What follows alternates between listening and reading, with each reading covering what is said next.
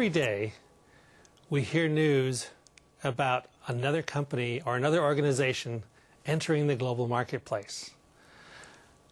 And the opportunities that the global marketplace is currently presenting us are probably unprecedented in the history of the world. And we wrestle with so, how can we play in that marketplace? I believe that there are several key lessons that we need to learn at the local level that will provide us insight and clues into how we move from the organizations we currently have to becoming a global player.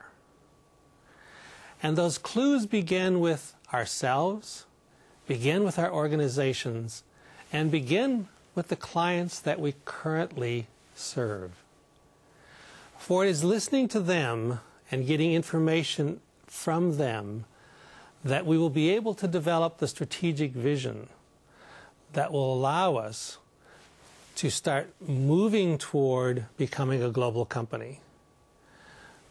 But will also, we will learn in that process and on that journey that if we are going to be successful, we need to develop the mindset of a leader because it is a mindset of the leader that will drive us, give us the energy, and give us the direction to play in that global marketplace.